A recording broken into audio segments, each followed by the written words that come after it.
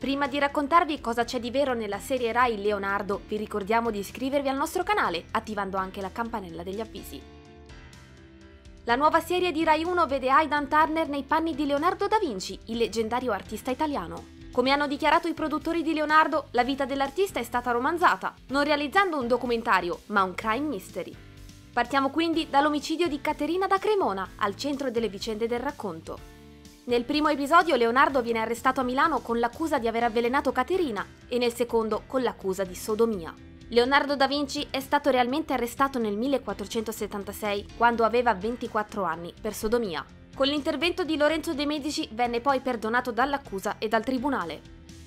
Il rapporto tra l'artista e Caterina da Cremona è stato invece molto romanzato. Il suo omicidio è frutto delle menti dei creatori Frank Spodnitz e Steve Thompson, così come il personaggio stesso che è stato ispirato a dei bozzetti di Leonardo.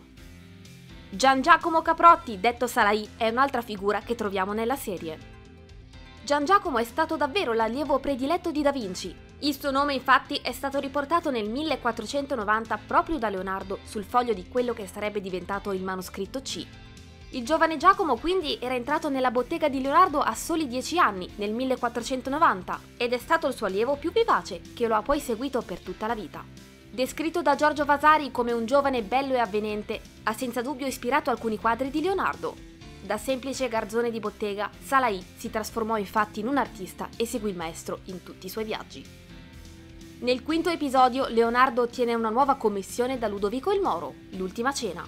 Il cenacolo è uno dei più famosi dipinti nella storia dell'arte. Gli viene commissionato pochi giorni dopo la scomparsa della moglie di Ludovico, un periodo molto tormentato per Leonardo, che incontra anche padre Luca Pacioli, matematico religioso francescano che studiava le sue opere.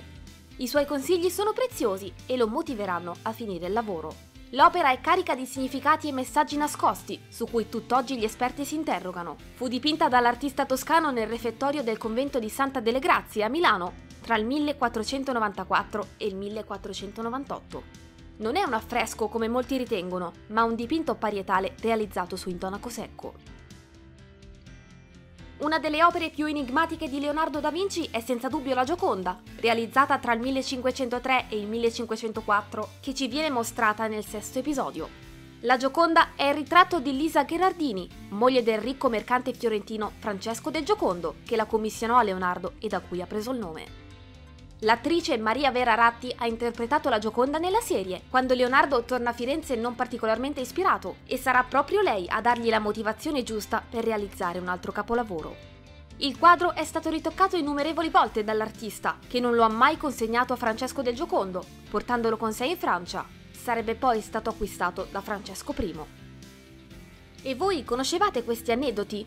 Cosa ne pensate della serie su Leonardo da Vinci? Ditecelo in un commento qua sotto.